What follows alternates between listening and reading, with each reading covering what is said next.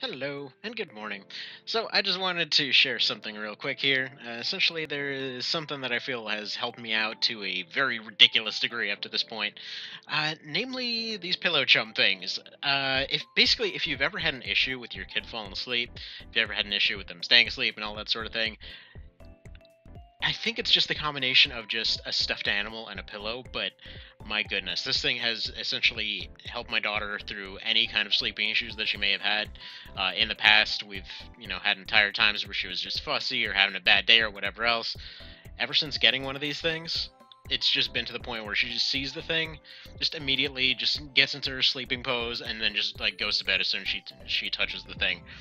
She's having a bad day teething or whatever else, you know, we just bring it out to the living room instantly it just like goes to take a little nap on it. It's great. These things are absolutely fantastic.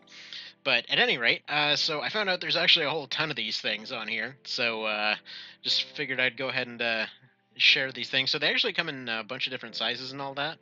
Um, uh, these these really huge ones can actually just serve as uh, as their own bed and all that sort of thing.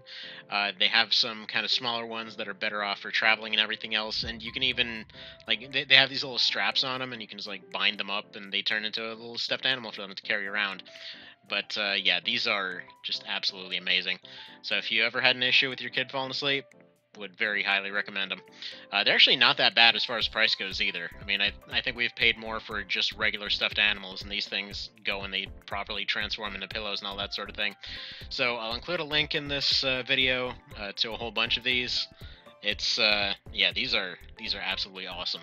So have a good day. Hope this helps, and uh, hope to have more reviews of cool stuff that's helped us out. Take care.